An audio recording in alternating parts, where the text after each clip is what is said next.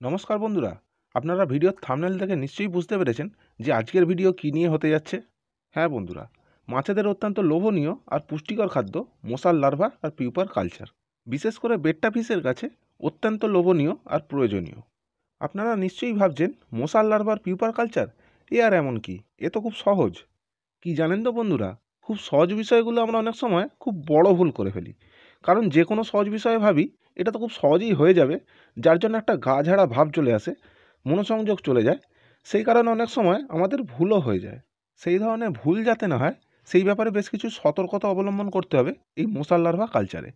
সেসব ভিডিওর বিভিন্ন অংশে আমি জানিয়ে দেব। আর হ্যাঁ বন্ধুরা, এই সহজ কালচারটা আমি আরও সহজ করে দেখাবো।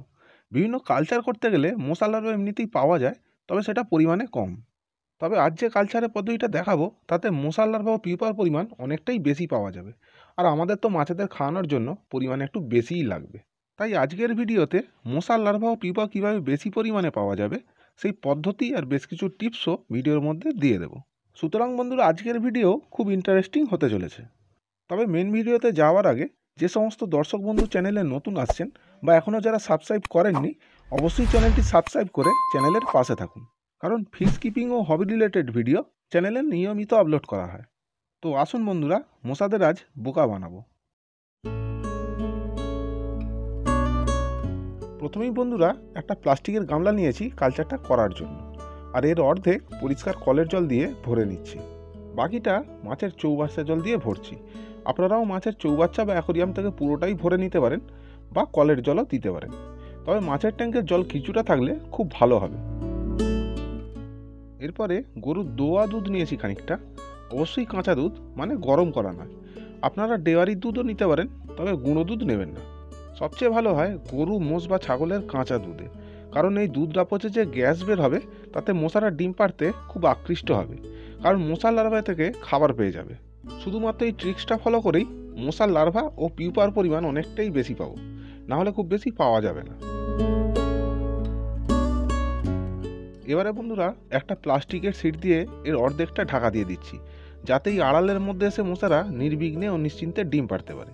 আর এমনিতেও মশারা একটু অল্প অন্ধকার জায়গাতেই ডিম পাড়তে বেশি পছন্দ করে। ফিরে এলাম বন্ধুরা ঠিক তিন দিন পর। একটু দেখে নিতে যে কালচারটা কতদূর এগোলো। কিন্তু দেখতে পাচ্ছেন, গামলার মধ্যে অনেক শুকনো আমের মুকুল পড়ে আছে। এই শুকনো আমের মুকুল কিন্তু জল খুব তাড়াতাড়ি খারাপ করে দেয়। জল পচে গিয়ে কালো রঙের হয়ে যায়।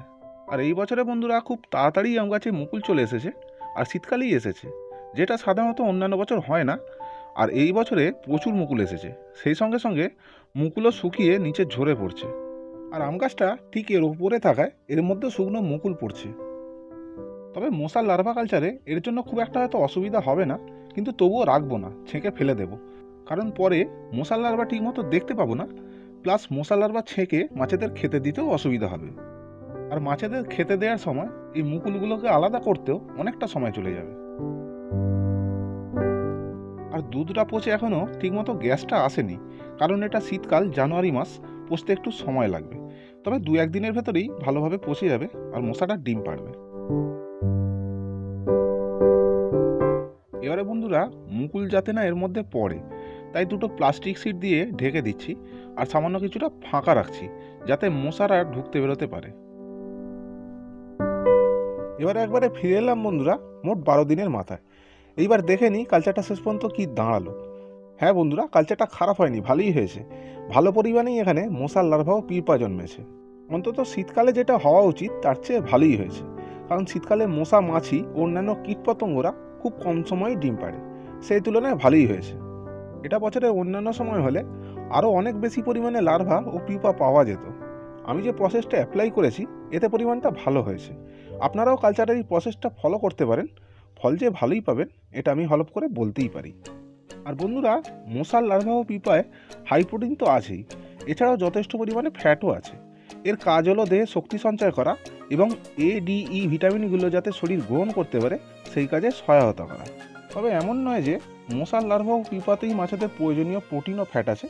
বিভিন্ন লাইভ ফুডেই যথেষ্ট পরিমাণে ফ্যাট ও প্রোটিন আছে, যেগুলো মাছের শরীর গঠনের জন্য অপরিহার্য। আর হ্যাঁ বন্ধুরা, ভিডিওর প্রথমের দিকে বলছিলাম, মশার লার্ভা কালচার করতে গেলে বিশেষ সতর্কতার প্রয়োজন। আমরা প্রত্যেকেই জানি যে মশা আমাদের কীভাবে ক্ষতি করতে পারে। সেই নিয়ে বিস্তারিত আর কিছু এখানে বলছি না। শুধু এটুকু জানিয়ে রাখি, মশার ডিম থেকে হয় লার্ভা লার্ভা থেকে পিউপা, আর পিউপা থেকে সরাসরি মশায় পরিণত হয়। এই ডিম থেকে মশায় পরিণত হতে মোট আট ন দিন সময় লাগে। অর্থাৎ মশার জন্মের এই সাইকেলটা জলের মধ্যে আট ন দিন স্থায়ী থাকে।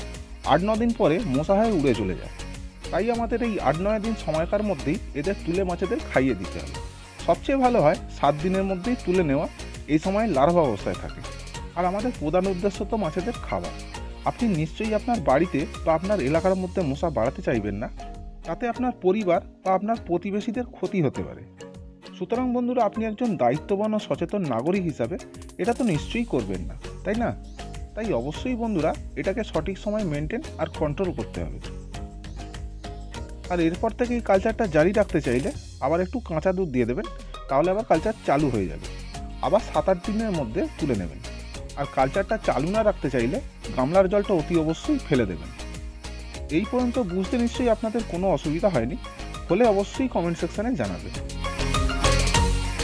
এর পরে বন্ধুরা, খুব ভালোভাবে পরিষ্কার করে নিয়েছি। এবারে সরাসরি মাছেদের খাওয়ানো যেতে পারে। ভিডিওটা কেমন লাগল কমেন্ট করে জানাবেন বন্ধুরা। যদি আপনাদের উপকারে বা কাজে আসে, তাহলে অবশ্যই লাইক দিতে ভুলবেন না। এছাড়াও শেয়ার করে অন্যান্য বন্ধুদের দেখার সুযোগ করে দেবেন। আর বন্ধুরা, আপনারা লাইক ও সাবস্ক্রাইব করতে ভুলে যাচ্ছেন। এই ধরনের আরও নতুন নতুন ভিডিওর জন্য চ্যানেলটি সাবস্ক্রাইব করে বেল আইকনটি প্রেস করে নিন। আর অল নোটিফিকেশান বাটনটিতে প্রেস করতে ভুলবেন না। কি জানেন তো বন্ধুরা? আমিও যেমন পরিশ্রম করে আপনাদের জন্য ভিডিও নিয়ে আসি, আপনারাও যদি লাইক কমেন্ট শেয়ার ও সাবস্ক্রাইব করেন, তাহলে অনেকটা উৎসাহ এনার্জি পাই পরবর্তী ভিডিও আনার জন্য। সকলেই ভালো আর সুস্থ থাকুন। আজকের মতো এখানেই বিদায় নিচ্ছি। নমস্কার।